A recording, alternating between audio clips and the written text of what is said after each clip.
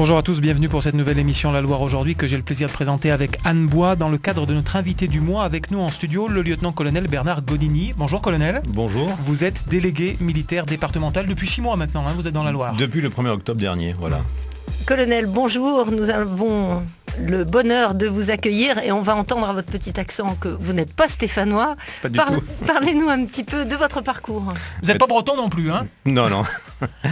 Voilà, bah, tout d'abord, bah, je vous remercie de m'avoir invité, c'est très gentil de votre part, et puis ça permet, je pense, à tous les auditeurs de, bah, de, connaître un petit peu qu'est-ce que le délégué militaire départemental. Euh, autrement que par les cérémonies où on peut m'apercevoir. Mmh. Alors vous êtes du Sud, hein Tout à fait, voilà. Donc je suis né à Marseille en 1966, donc euh, cela s'entend mon accent un peu chantant. Et donc j'ai grandi sur la, sur la côte puisque j'habitais à Marseille même. J'ai effectué mes études euh, dans une école euh, dominicaine, hein, donc jusqu'au bac, donc l'école Lacordaire, pour, ne pas la citer.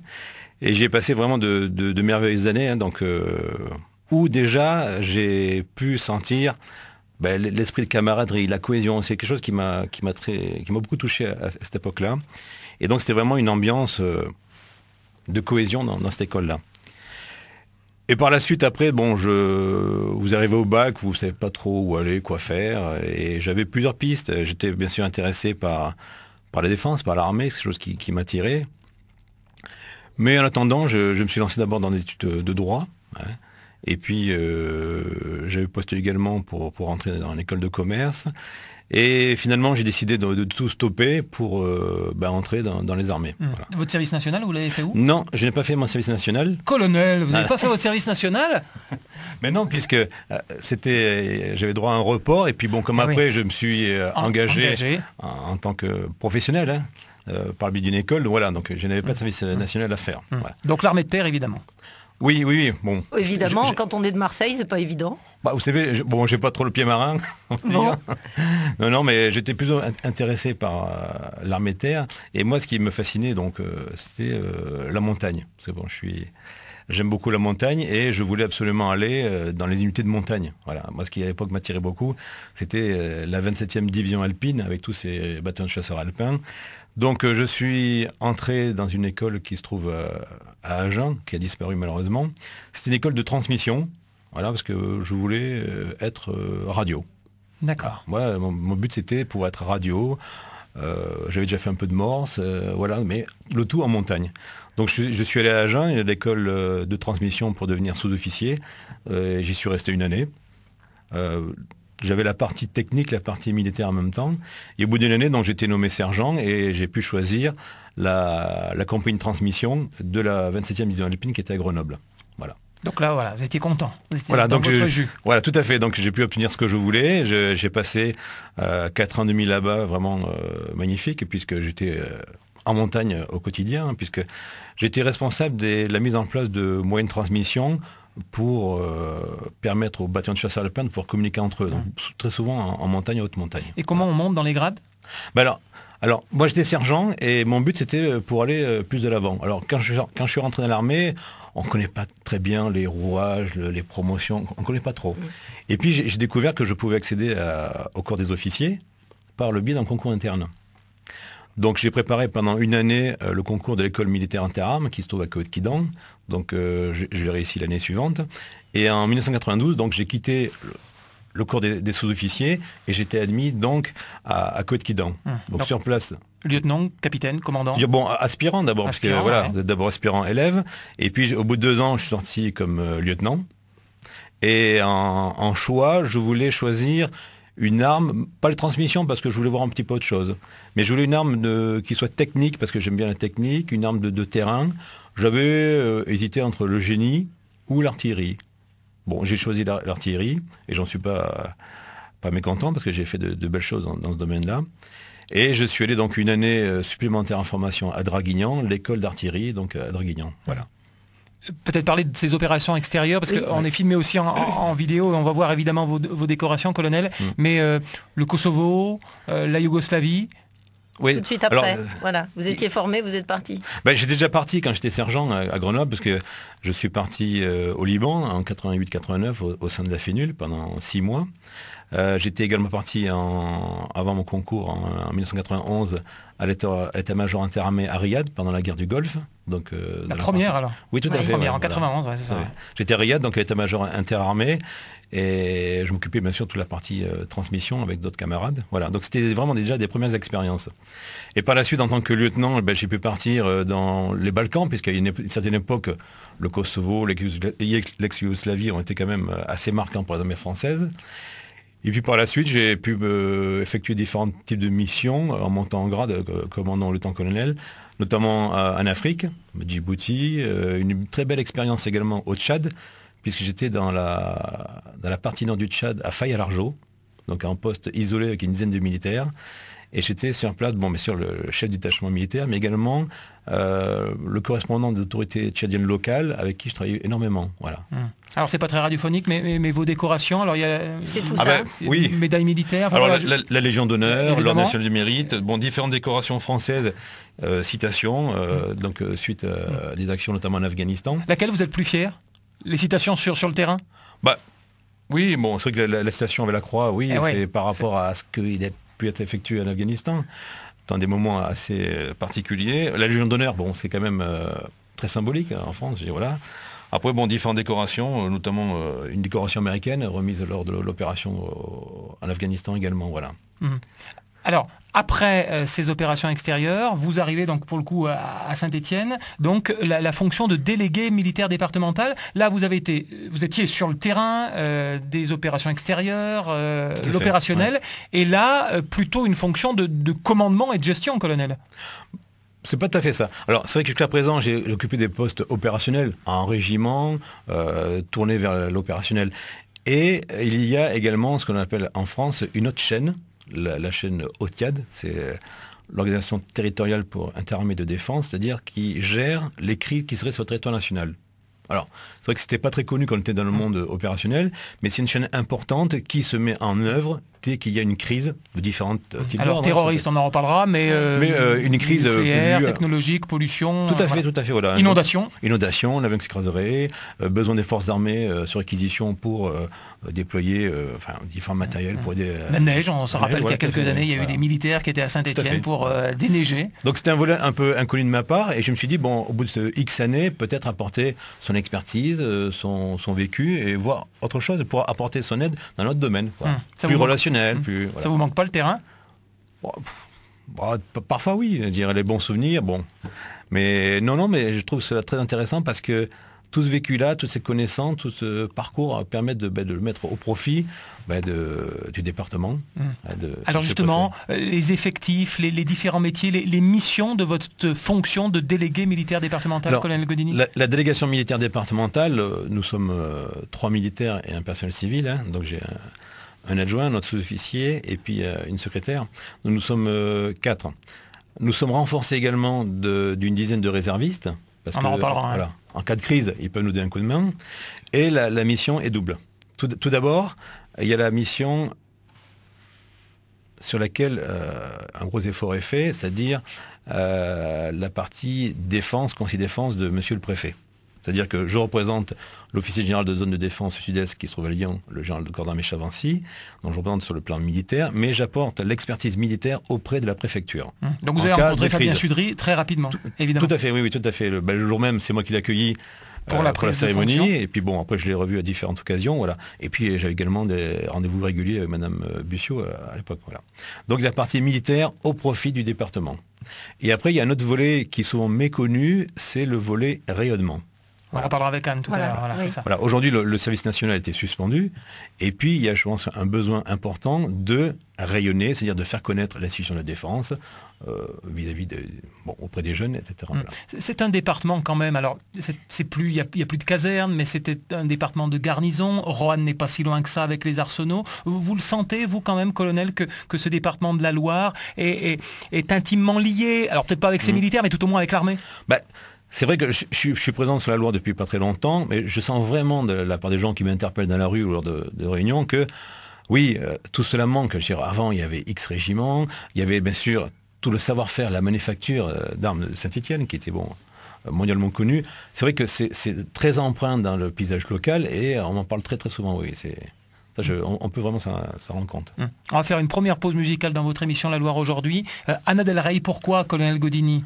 Ah parce que c'est bon, c'est une chose que j'aime bien, c'est une musique douce et vois, bien souvent un petit, un petit, peu de douceur, ça fait pas de mal. Et eh bien justement, dans ce monde de bruit, c'est ça. Voilà. RCF. Colonel Godini, merci pour cette petite pause musicale. Lana Del Rey, Summertime, un peu de douceur. Mais la douceur à Saint-Etienne, euh, vous l'avez trouvée euh, parmi nous quand même. Oui, bien sûr.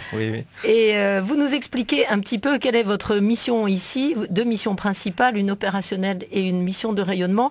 Mais pour nous, Stéphanois, un peu béotiens, l'armée, c'est la maison de l'armée. C'est là que vous êtes visible, c'est votre visibilité. Mais à quoi sert-elle cette maison? Alors la maison de l'armée, donc euh, qui se situe pas loin du campus universitaire. Mmh. C'est pas très loin d'ici, hein, on est voisins. Hein. Tout à fait. Et donc euh, au sein de cette maison, vous avez différentes entités de, la défense. Hein. Tout d'abord, ben, au rez-de-chaussée, vous avez le centre d'information et de recrutement des, forces armées, le CIRFA, qui permet à tout jeune de venir se renseigner sur une carrière militaire, euh, voilà. Donc c'est la première étape. Donc y a même des formations, des recrutements, des, journées portes ouvertes. Enfin voilà, on explique aux jeunes les, les, les, jeunes viennent et peuvent se renseigner sur les différents types de métiers que l'on peut trouver au, mmh. sein de, mmh. de, la défense. Mmh. Parce, qu'il y a plusieurs métiers dans l'armée. On, ah, bien sûr, bien sûr, le militaire. C'est pas que les unités combattantes. Non, mais vous savez, pour, euh, pour des combattants, il faut également des logisticiens, donc des gens qui soient en soutien des combattants, alors tant sur le plan euh, technique, mécanicien ou optronique, enfin, etc. La nourriture, c'est important dans les oui, armées. Oui, bien sûr, vous avez toute la partie soutien euh, logistique, euh, ravitaillement en carburant, eau, vivres, voilà. Donc il y, a tout un monde qui, est mis en œuvre pour apporter le soutien aux combattants qui sont en première ligne. Garçons et filles, colonel. Bien sûr, voilà. Oui, ah c'est important, il faut le dire ça. Tout fait. Non, non, mais il y a, il faut dire qu'il y a de la place pour tout le monde. Celui qui veut euh, venir dans les forces armées peut trouver sa place en fonction de son parcours euh, d'avant, en fonction de ses désirs. Il y a toute une multitude de, métiers euh, possibles. Hum. Donc ça, c'est au rez-de-chaussée Rez-de-chaussée, voilà. Et ensuite? Alors, une, euh, bah, c'est sûrement un scoop ou pas, mais bientôt euh, l'Office national des anciens combattants va venir s'installer à la maison de l'armée. D'accord, alors ils étaient un petit peu plus haut du côté de, du parking. Euh, ils étaient sur, une place dans le centre-ville. Ouais, les Oui, tout à fait. Et donc ils vont pouvoir bénéficier bah, d'une infrastructure correcte hein, après quelques travaux. Et puis ça permet également, on travaille beaucoup avec eux, donc d'être tous sur le même lieu. Voilà. Donc Monsieur Jourjon, donc Léonac nous rejoindra bientôt. Ensuite, vous avez euh, trois fois par semaine euh, les journées de défense citoyenneté. Donc les, jeunes qui viennent. la fameuse journée, ce qui a remplacé les trois jours. Voilà. Ah, ils viennent, ils vont plus au quartier général frère à Lyon. Mais ceux, de la Loire viennent euh, soit sur Saint-Étienne, besoin de l'armée, soit à Rouen. Soit à Rouen, d'accord. Et ça c'est bien. Et alors qu'est-ce qui se passe? C'est quoi? Alors c'est plus des tests d'alphabétisation? Ben, ils, ont, ils, ont, une journée où ils ont différentes présentations, il y a des tests qui permettent d'avoir un, un, bilan sur, la, sur les jeunes. Voilà. Et donc cette journée se fait sur euh, la maison de l'armée, donc trois fois par semaine. Et ça représente combien de jeunes à chaque fois? Oh, des sessions d'environ euh, entre 60 et 70 jeunes à peu près. Voilà.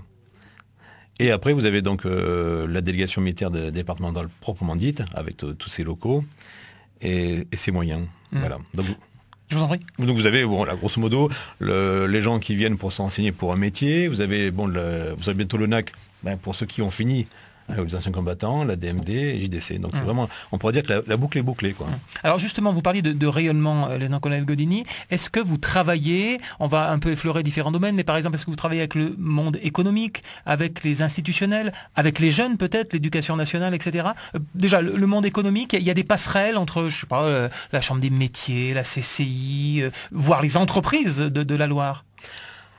Bah, ce qui est important aujourd'hui, c'est que dans tous les domaines, on doit pouvoir communiquer, que ce soit le, monde de la jeunesse, le monde de l'entreprise, pour faire découvrir qui nous sommes, euh, quels sont nos atouts, qu'est-ce qu'on peut apporter également, euh, pourquoi pas au monde économique, je veux dire, en termes de reconversion.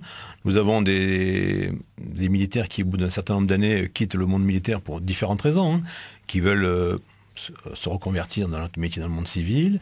Donc c'est montrer au, personnel d'entreprise que nous avons des gens de, qualité, avec parfois des, savoir-faire bien, bien particuliers techniques. Donc ça peut être un atout pour eux. Hein. Mmh. Les institutionnels, par exemple, les politiques aussi, bien sûr, vous rencontrez le maire de Saint-Etienne, le président du ben, Conseil général, oui, les, parlementaires. Je, les rencontre notamment lors des, cérémonies. Des cérémonies, voilà, avec qui on peut échanger sur différents types de sujets. Voilà. Bon, mais, mais ce n'est pas le, principal. Hum. Et les enseignants, le, monde de l'éducation nationale, est-ce qu'on fait appel à vous pour euh, aller dans les écoles, pour euh, expliquer aux jeunes? Ça fait rêver hein, pour les petits garçons, l'uniforme, c'est toujours agréable. C'est un peu comme les pompiers. Hein, les, euh, L'uniforme, ça fait rêver. Hein. Les petits garçons et les petites filles même, peut-être. Hein. Oui, oui, tout à fait. Alors, je vous avoue que il est important de, pouvoir passer des, messages aux jeunes parce que les jeunes, ben, c'est notre avenir. Hein. C'est comme je dis aussi, euh, moi ce qui m'intéresse beaucoup, c'est ben, les jeunes euh, en scolarité, ceux qui sont ici dans l'enseignement supérieur, parce que ce sont nos dirigeants de demain.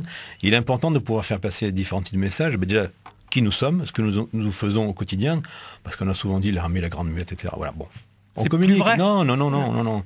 On, communique. Moins vrai. Voilà. Moins vrai. On communique parce que euh, tous nos concitoyens ont besoin de savoir ce que nous faisons. Bon, aujourd'hui, ils le voient très bien, voilà, parce qu'on est, est présent sur le, territoire national. Euh, avec les événements que, l'on connaît. Tout à fait, voilà. Mmh. Donc il est très important de pouvoir se rapprocher du monde économique, du monde euh, de, l'éducation nationale, afin de, monter ensemble de différents types de projets. Hein.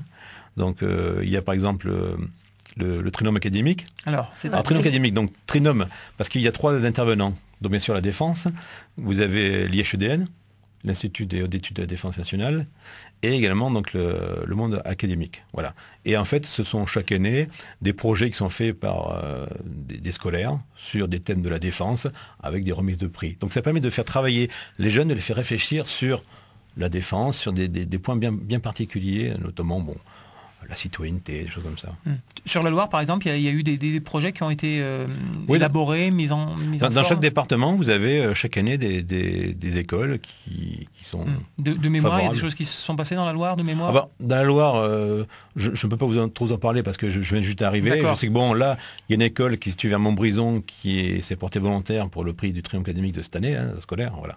Hmm. On va parler des réservistes, Anne. Oui, alors voilà, beaucoup de réservistes dans la Loire et à quoi ils vous servent Moi qui suis béotienne, c'est quoi un réserviste Il est en réserve, mais de quoi alors, le réserviste, c'est une personne qui euh, a effectué une peine militaire auparavant et qui souhaite bah, la poursuivre, non pas en tant qu'active, hein, mais dans euh, ce qu'on appelle la, réserve. C'est-à-dire qu'il va souscrire un contrat de réserviste et il va pouvoir servir l'institution dans un métier qu'il connaît. Euh, voilà. Donc il y a des gens qui ont effectué auparavant une période militaire. Qui le service national par exemple. Ou service national ou d'active aussi, voilà. Et qui souhaitent... Ben... C'est quoi la différence, le service national, l'active? Ben, L'active c'est celui qui en a fait son métier, bon, comme moi. Voilà. Donc moi je suis quelqu'un d'active. Euh, quelqu'un qui avait son service national, qui a été euh, officier de réserve en situation d'activité, ce qu'on appelait Orsa auparavant, bon, qui, a fini comme lieutenant, ben, peut très bien avoir pris par la suite un, contrat euh, pour être réserviste. Voilà. Ah, il y a des sessions de formation, les week-ends, la semaine, enfin voilà, comment ça se passe? Alors, il y, a, des formations qui sont euh, centralisées sur Paris, hein. donc des formations d'état-major. Ensuite, nous, on organise euh, au sein de la, délégation des, formations pour eux, dans le cadre du métier que l'on effectue au quotidien. Alors, ces réservistes-là, j'en possède environ une dizaine. Hein, qui ont souscrit un contrat au titre de la DMD, et sont des gens qui viennent euh, en renfort lorsqu'il y a une crise. C'est-à-dire que nous sommes trois militaires et un personnel civil. Si une crise était déclenchée, ben, il faut bien sûr qu'ils nous apportent une aide, parce qu'on doit pouvoir être sur le terrain, on doit pouvoir être à la préfecture. Euh, Mais c'est surtout sur de la protection civile, par exemple? Ben, En fait, c'est tout incident qui pourrait intervenir sur le département et puis avec euh, une demande de recours aux forces armées. Hmm. Et il euh, y, a des 10, est-ce que, parce qu'il y a plein de gens qui ont fait leur service national et qui ne savent pas effectivement cette euh, possibilité-là, on peut devenir réserviste à tout âge ou là, moi je suis un, vieux, barbu à 40 ans, c'est fini quoi. Je suis plus apte, colonel. Hein.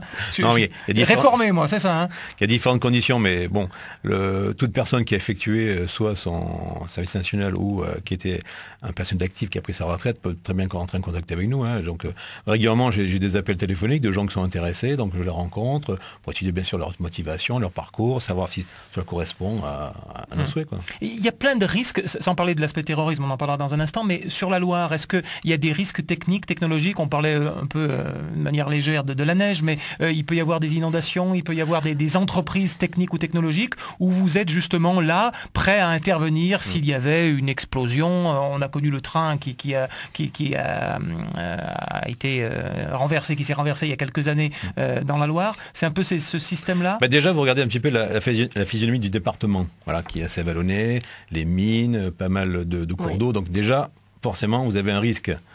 euh, D'inondation, enfin risque de années, voilà. Euh, Lorsqu'il y, a- il y a très peu de temps, euh, au mois de novembre, il y a eu euh, de- de- des fortes pluies, forcément, ben, l'autoroute a été coupée, débordement du, du voilà. Donc, Mm. Vous avez quand même des risques naturels qui ne sont pas omniprésents, mais voilà, on Mm. sait qu'ils existent et ils peuvent très vite euh, arriver. Et vous travaillez avec euh, d'autres départements, enfin je veux dire Faisin n'est pas très très loin, donc c'est le fameux couloir de la chimie, ou vous travaillez avec d'autres d'autres départements pour venir en aide ou que la Loire euh, Alors, soit, ce soit qui- aidée par d'autres militaires d'autres départements? Ce qu'il faut savoir, c'est que la défense n'est pas ce qu'on appelle primo-intervenant. Tout d'abord, s'il y a une catastrophe dans un département, ce sont les services du département qui entrent en action en premier. Services Voilà. préfectoraux. Oui, alors le SDIS, gendarmerie, etc. Donc vous avez euh, tous les services de- du département. Ensuite, si euh, le besoin ça fait sentir parce que les, les moyens que possède le département ne sont pas adaptés, euh, ou peut-être euh, plus inopérants, on peut faire appel aux, aux forces armées. Voilà. Hum. Mais nous, nous, nous sommes second euh, intervenants. Voilà. Hum. Euh, ça, ça manque les, justement de, de- de- des casernes dans la Loire? Enfin, il y aurait besoin de, justement de plus de militaires? Ou bon, on est plutôt évidemment sur des réductions d'effectifs. On, on s'en aperçoit bien au niveau national. Mais euh, il y aurait besoin de plus de monde par rapport aux réservistes, par rapport aux, aux risques possibles, colonel Godini? Ou on est à peu près bien là. Voilà? Non, on est, très bien parce que les, les risques, je veux dire, les, moyens de l'État qui sont dans le département sont très bien dimensionnés pour faire face aux risques. hein. Dire, voilà. Euh, heureusement qu'on ne fait pas appel tous les jours aux militaires, ça veut dire que les services de l'État ne seraient pas à mesure de, de pouvoir euh, satisfaire le, et répondre aux besoins. Voilà. Non, non, il y a, Hum, on est bien. oui. On fait une deuxième petite pause musicale, colonel, et nous revenons pour Euh, bah, parler de votre mission. Alors pourquoi les cranberries alors? Ah ben c'est un, un vieux groupe que j'écoutais il y a depuis très très longtemps, donc euh, que, que j'adorais. Donc voilà. vous, vous- aimez la musique? Ah oui, oui, oui. Ouais, Vous jouez d'un instrument Oh, j'ai joué un petit, un petit peu de batterie à une Ah époque. quand même ouais, oui. D'accord, batterie, voilà. Et puis, voilà. on touche, on touche un peu à tout. Et puis vous aimez le sport aussi, hein, c'est ça? J'aime le sport aussi, Le tout foot à fait. Oh, le football, oui, j'ai joué étant jeune. Quel, Euh, quel, euh, Milieu, j'étais milieu, donc et j'ai arrêté bon à partir d'un certain âge parce que bon, j'étais plus en accord avec certaines valeurs qui étaient vécues dans le football, voilà. L'argent par exemple ou- Non, non, non, bon, la brutalité, vous savez, Ah oui, je, jouais à. Marseille et c'était pas toujours évident, Ah, c'est un d'accord. quartier, voilà. Ah, Alors le vélodrome et puis maintenant Geoffroy Guichard, vous allez au stade? J'y suis déjà allé, oui, oui. Mm, oui. mm. Alors j'étais, je vous avoue que j'étais assez surpris parce que on parlait du chaudron depuis un certain nombre d'années et c'est vrai que quand on est là-dedans, ça, ça bouillonne. Ah, non, non, j'étais vraiment surpris de, de l'ambiance. ouais, fait. voilà. Bah, Marseille et Saint-Etienne, les deux plus grands clubs de France, hein, voilà, hein, quand, quand ils sont sur le terrain. Ah ben a ce sont des 19 clubs prestigieux, hein, vous 19 savez. de champion. hein. Quand j'étais tout jeune, me- mon père allait à Saint-Etienne voir les fameux pas matchs. vrai, euh, pour les matchs de 76, Ah oui, etc. oui, les matchs euh, OM Saint-Etienne. Vous déplacez. Ah oui, bah OM Pas moi, pas moi, voilà, ouais. voilà, mais OM Et il me rappelait tout souvent le petit coussin euh, de Saint-Etienne que je gardais. hein. Et, et Marseille perdait souvent, hein, les matchs étaient les dimanches après-midi. là. hein. C'est comme ça la vie. hein. Ah, là, retourne. les Cranberries. RCF. La Loire aujourd'hui, nous avons un invité euh, gradé, euh, colonel Godini. Vous êtes chez nous depuis six mois maintenant et vous nous expliquez que vous avez une double mission opérationnelle. On va en parler puisque nous sommes encore dans le plan Vigipirate. Et puis une mission non moins importante qui est de rayonnement, c'est-à-dire de visibilité, de communication et de formation, ou en tout cas euh, vers les jeunes. Euh, vous intervenez avec l'enseignement, avec le monde de l'enseignement, vous intervenez dans les collèges et vous nous avez parlé qu'il y avait un concours, le trinôme académique. Voilà, vous nous fait. L'avez un peu expliqué Mm. euh, dans la partie précédente de cette émission. J'aimerais bien qu'on y revienne un peu parce que nous sommes un bassin euh, de jeunes. Voilà, nous avons beaucoup de jeunes chez nous et, et- et que faites-vous avec eux? Pourquoi? Comment? Voilà, ce trinôme académique. euh, Mais comme, comme je disais tout à l'heure, le, le but est de pouvoir faire réfléchir les, les jeunes sur des, des thèmes généraux de, de la défense hein, dans, de- dans le pays. Euh, bah, bah, celui de l'année passée, c'était euh, un retour d'expérience d'un jeune militaire qui est intervenu auprès de, de jeunes du bassin de, de la Loire. Et au travers de son retour d'expérience, ben, il, y a, il y a pu y avoir une étude sur ben, qu'est-ce que le parcours de, militaire, parce qu'il en a parlé par rapport à l'évolution dans son grade, sa fonction. le retour d'expérience sur l'Afghanistan qu'il a effectué ben, permettait également d'avoir une vision géopolitique. Voilà. Donc tout, son, toute son intervention a permis de, travailler sur différentes pistes, tant le métier militaire, les possibilités de carrière, etc., euh, le monde dans lequel l'on vit, donc la géopolitique, euh, pourquoi la, France est intervenue comme d'autres pays en Afghanistan, voilà. Donc ça permet, au travers de, paroles, ben, d'ouvrir un petit peu les, yeux de, nos jeunes sur le métier, l'environnement dans lequel on évolue aujourd'hui, la complexité, voilà. Vous touchez aussi bien des, collégiens, peut-être pourquoi pas même des élèves de première, jusqu'à des, ingénieurs, par exemple. C'est tout type de jeunes, ça va dans dire, de, de, la primaire à l'étude supérieure? Ben, Vous savez, les, jeunes, ceux qui sont à l'école supérieure, bon, n'ont pas fait leur service national. Eh oui. Donc euh, pour eux, bien souvent, c'est un peu un monde flou, euh, un peu opaque. Donc je pense qu'il est important de, véhiculer un message qu'aujourd'hui, ben, on, le voit au quotidien, hein, il ne faut pas baisser la garde. Euh, la défense du territoire national est quelque chose de, vital. Hein. Donc il est important de pouvoir communiquer dans ce domaine-là et de leur faire passer des messages comme quoi euh, il faut rester vigilant. Voilà. Donc il y a tout un processus, toute une élaboration de D'information. De formation, de, formation, Voilà, je me suis déplacé à différentes reprises devant des proviseurs. Il faut aller à la rencontre vraiment des. Je me, suis, je me suis déplacé auprès de, proviseurs pour euh, leur parler bah, du parcours citoyenneté. Qu'est-ce que nous, la DMD, au travers de nos expériences avec l'ensemble des cadres, qu'est-ce qu'on peut leur apporter? Parce que ils, présentent cela à leurs élèves. Nous, on a euh, de l'expérience, on a vécu. Donc on est en plus, voilà, on peut euh, être un moteur aussi. Et c'est souvent deux mondes qui ne se connaissent pas, qui ont envie de se découvrir, tout l'éducation nationale et l'armée, mais qui ne se connaissent pas par, peur, par négligence. Enfin voilà, c'est ça. Non, non, non, non, non. Ce qu'il y a, c'est que les, enseignants, bon, euh, auprès de leurs élèves, donc euh, leur parle de différents sujets, notamment la défense et tout ça. Mais c'est vrai que d'avoir euh, l'apport d'un militaire qui a une expérience, ah bah, évidemment. Bah, comme je disais tout à l'heure, bon, bien souvent en uniforme, c'est un plus. Voilà, c'est un plus. Et c'est vrai que lorsqu'on intervient auprès de, de classes, il y a beaucoup de questions. Ah oui, oui, énormément de questions. De, ah quel type? Ah, Vous savez, j'ai tout, hein. euh, monsieur, mais vous habitez à la caserne, vous avez une maison, vous êtes marié, mais vous pouvez être marié en faisant ce métier. Voilà. Donc on sent bien que les jeunes connaissent pas très bien, mais même pas du tout notre, notre environnement. C'est dommage. Donc je explique euh, bah, que je suis un citoyen comme les autres, hein. j'ai une vie aussi familiale. Bon, j'exerce un métier particulier, bah, comme, euh, beaucoup de métiers en France, voilà. Mm. Donc il est important de pouvoir être auprès des jeunes et montrer cela. voie. Mm. Alors on va parler de l'actualité, puisque bien sûr on est en plan Vigipirate avec plusieurs degrés mm. euh, de, plan Vigipirate. Alors on n'est pas en écarlate dans la Loire, mais on est en écarlate en, Ile-de-France et puis dans le sud de la France. Et on s'est aperçu, parce que c'était visuel, qu'il y a des militaires à Saint-Étienne on euh, on va pas donner le nom, on va pas donner leur lieu, etc. Mais expliquer aux gens de se dire, voilà, il y a des militaires sous votre autorité, euh, lieutenant-colonel Godini, et que, font-ils ces militaires? Est-ce que c'est de la surveillance, c'est du renseignement? Enfin voilà, il y, a des gens qui sont des, militaires qui ne sont pas de la Loire, qui sont là pour nous protéger, on va dire, hein, globalement. Si vous me permettez, je vais d'abord... Euh... Tu fais des erreurs. Non, non, non, non, c'est pas ça. Mais je vais prendre un petit peu la genèse de l'affaire. Donc c'est sûr que euh, bah, tous nos concitoyens voient Vigipirate à Paris ou dans des grandes villes comme Lyon, parce que bon, à Paris sont déployés des militaires en permanence. Voilà. Donc là, face à, la menace terroriste, hein, il faut la nommer telle qu'elle, hein, ben, donc le pouvoir politique a décidé donc de mettre en place des, moyens militaires sur le territoire national. il, faut dire que dans le livre blanc de la défense, la priorité des armées, c'est bien la défense du territoire. Donc là, on, entre bien dans, ce cadre-là. Voilà. Donc les militaires français, euh, tout, le monde l'a lu dans la presse, hein, environ 10 000 militaires ont été déployés sur différents types de, sites. Hein. Le but n'est pas de faire du maintien de l'ordre, parce que là, c'est dévoué à, forces de sécurité voilà, intérieure. Non, nous ne sommes pas là pour faire du maintien de l'ordre. Ça, il faut que ce soit clair. Il ne faut pas la circulation. On ne va pas avoir une amende Non, tout à fait. Les militaires ont été déployés sur des sites classés sensibles hein, de, par le pouvoir politique.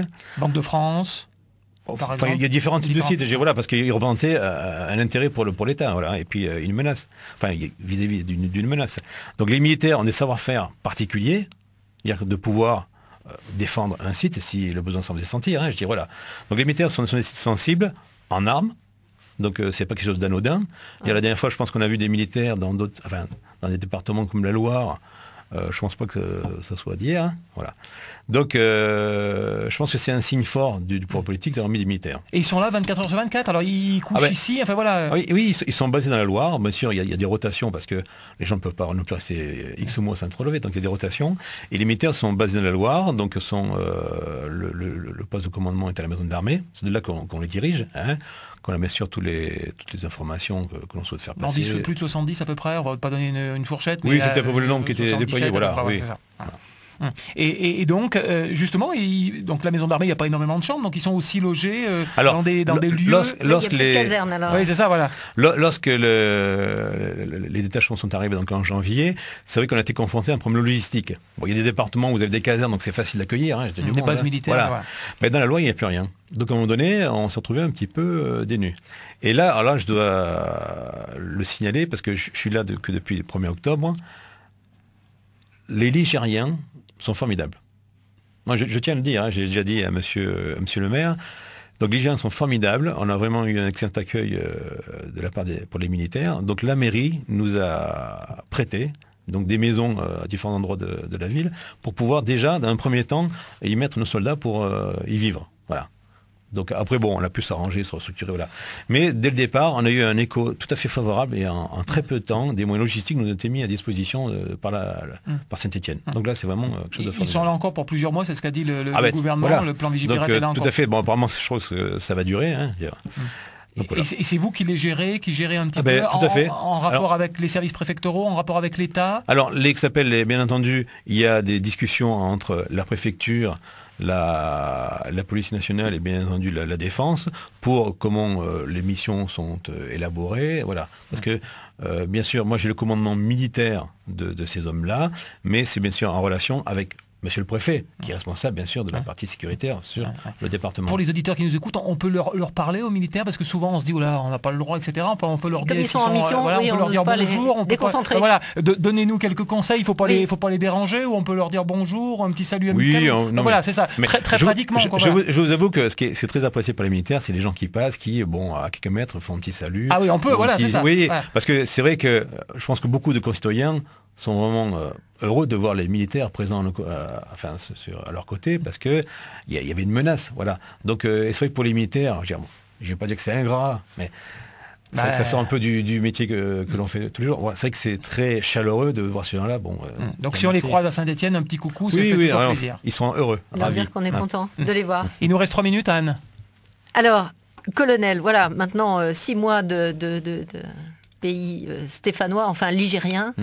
Euh, vous nous avez avoué que vous aimiez le foot, donc euh, déjà c'est un bon point, j'allais dire, pour nous. finalement, ah, si je n'aime pas que le foot. Hein. Ah ben voilà. Eh ben, quel, autre sport je vous invite à dire. mais j'aime bien, j'aime bien le rugby aussi. Le rugby, ah ben, le rugby, voilà. Bon, ben, nous, on est moins représentatifs de ce côté-là. Mm. Mais voilà, qu'est-ce que vous aimez d'autre chez nous, finalement? Si vous deviez dire Saint-Étienne vous savez, avant de venir, je connaissais un Stéphanois qui m'a dit euh, Tu vas voir, dans la Loire, euh, ça va très bien se passer, les gens sont super sympas. Bon. Je suis arrivé ici et je vous avoue que d'emblée, j'ai vraiment été très bien accueilli. Toutes les portes sont ouvertes, des gens chaleureux qui m'ont aidé au quotidien. Donc j'avoue que j'ai vraiment été surpris par cette générosité. Par Alors c'est un département travailleur, bon, la mine, etc., les manufactures, c'est des gens vraiment très terre à terre, qui aiment bien leur département. Voilà. Quand on quitte euh, le, képi et les, galons, colonel, si on vous voit le week-end en, civil, vous allez où euh, Vous allez vous promener euh, dans, le Pila, Saint-Victor-sur-Loire J'ai découvert la montagne, voilà, c'est ça. Alors je suis allé près de la station de, de Chalmazel, dans le coin, et j'ai vraiment trouvé. À l'automne, j'étais allé pour un petit peu le coin visiter, et c'est vrai que j'étais assez subjugué par ces, par ces, forêts, ces la, plaine du forêt aussi. Mm. c'est magnifique. Je voilà, je me déjà faire du VTT ou des randonnées. Euh, voilà. Mm. Non, non, non, il y a vraiment de très très beaux paysages dans, la Loire. Et je pense qu'aujourd'hui, au moment où beaucoup de gens cherchent le, les vacances de proximité, euh, je pense pour, pour tout le bassin lyonnais, il y a vraiment quelque chose à faire dans, la Loire. vous, êtes, en place encore pendant plusieurs années Comment ça se passe par oh, Normalement, oui, c'est aux, alentours de 3-4 ans quand même. Mmh. Ben, ce sont quand même des, postes qui demandent un certain nombre de, stabilité. Parce que, bien entendu, euh, il faut pouvoir euh, bah, faire sa connaissance du département, les différents risques, les rouages du département. Voilà, donc on peut pas venir et partir deux ans après. et puis peut-être monter en grade, ça, peut le, le, képi va rester euh, tout blanc ou tout jaune, ah. devenir, on l'espère. On, verra bien. on se revoit pour fêter les nouvelles barrettes. Merci beaucoup, merci. merci beaucoup Merci colonel bien, Godini d'avoir accepté cette émission. À la réalisation technique Julien Vogilac, une émission évidemment rediffusée hein, sur le net rcf.fr. Vous pourrez également nous suivre sur la page Facebook de RCF, le compte Twitter et également en vidéo, hein, hein, puisque sur le euh, compte YouTube vous pourrez nous découvrir et puis voir justement euh, les décorations du colonel Godini. Anne Bois et Philippe Lois, nous vous souhaitons un excellent week-end. Bonne fête mesdames, dimanche c'est la journée internationale des femmes, donc on vous salue, mais c'est toute l'année la journée internationale des femmes à RCF. Merci Philippe. Oui. À bientôt.